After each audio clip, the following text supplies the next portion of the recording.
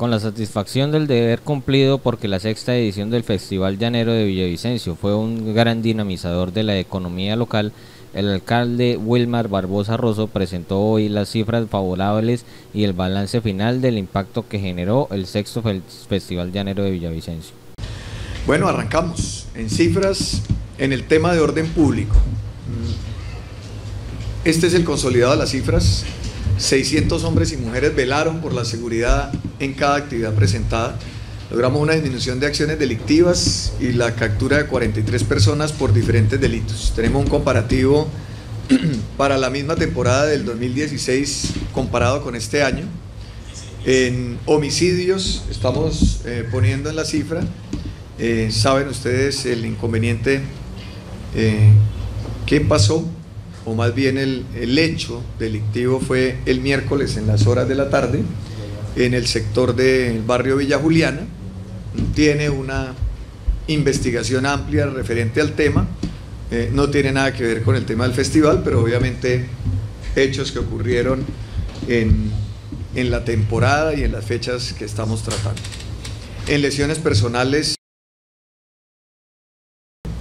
en hurto en todas sus modalidades una reducción del 63%, en automóviles y motocicletas del 100% la reducción, el año anterior tuvimos 11, en este año no tenemos ninguna denuncia respecto del tema, y en accidentes de tránsito tuvimos el reporte de dos. Accidentes de tránsito, el año anterior había sido de 16, con una reducción del 88%.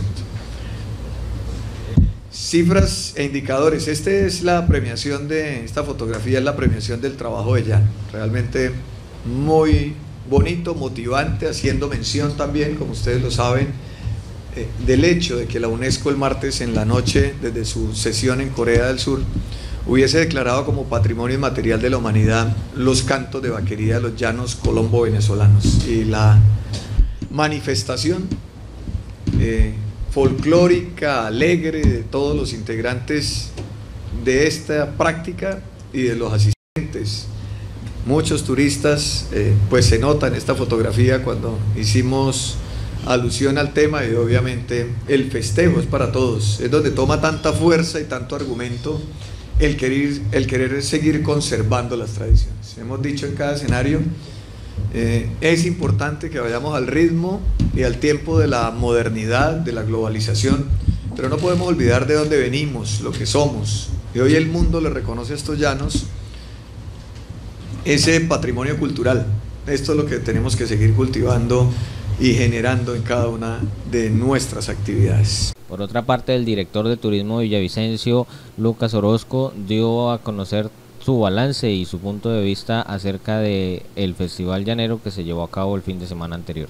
Bueno, es un balance positivo ya que nos visitaron aproximadamente 165 mil personas, habitantes, eh, entre turistas y propios, eh, aprovecharon la oportunidad que hubo en este, de, de, participar en este sexto Festival Llanero que se presentó de los días 6 al 10 de de diciembre y pues el comercio, el por si acaso, los diferentes están de comida, los diferentes comerciantes que participaron, eh, un resultado muy positivo. Eh, definitivamente la promoción del festival fue gracias al apoyo de todos los periodistas y de la estrategia que se manejó desde el gobierno Unidos Podemos para que todos los villavicenses y los turistas se enamoraran de la programación del festival y tuvieran la, oportunidad de participar. Importante eh, resaltar que todos los eventos fueron gratuitos y que la programación que se trabajó de los diferentes días eh, se hizo un seguimiento uno a uno y se pensó en todos los villavicenses y quienes nos visitaban para que cada uno, cada uno de ellos disfrutara de las diferentes actividades que realizamos. La inversión.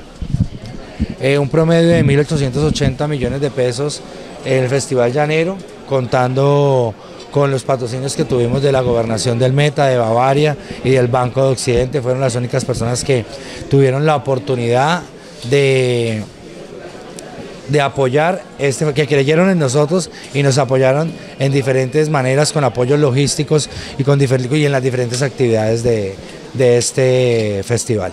¿Cuánto suma los apoyos?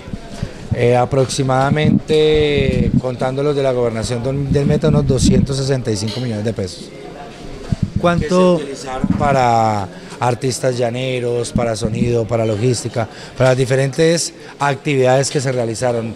Recordemos que montar una logística como lo es la del fundador, la del Parque Las Malocas, los alquileres que se deben de hacer para las diferentes actividades, las tarimas de los diferentes barrios, los sonidos, la oportunidad de, de- tener varios operadores, eh, hace que la economía del municipio también se eh, tenga muchísimo movimiento. Entonces, eh, lo que hicimos fue aprovechar al máximo los diferentes recursos que tuvimos para que Villavicencio se sintiera en festival y se sintiera muy contenta. Las cifras lo demuestran, los comerciantes hoy lo reconocen, quienes participaron en el marco del festival, los artesanos, las ventas informales también, los que estaban sobre los diferentes sectores, porque recordemos que en los diferentes barrios hubo la oportunidad para el sector de que hicieran sus ventas de, de bebidas eh, como agua, gaseosa, cerveza, licores, entonces cada uno de ellos manejó una economía diferente y los resultados fueron positivos. ¿Listo?